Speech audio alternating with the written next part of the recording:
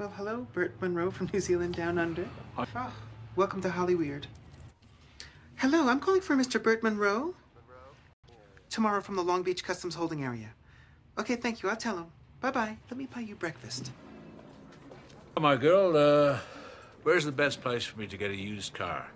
The Valley. Oh, yeah? After breakfast, I can take you there. Oh, thank you. And